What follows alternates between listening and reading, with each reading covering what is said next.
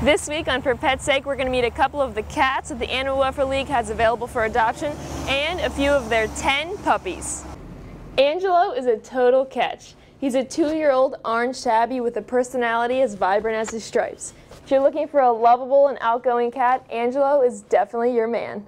But if you're looking to adopt a younger cat, they also have Zelda and Oatmeal available, both of which are around three months old. Zelda is a female and Oatmeal is a male, and they would both love to find their forever home. The Animal Welfare League is now accepting applications on their 10 puppies that are a mixed breed of lab and pointer. They are 8 weeks old and will grow to be medium to large dogs.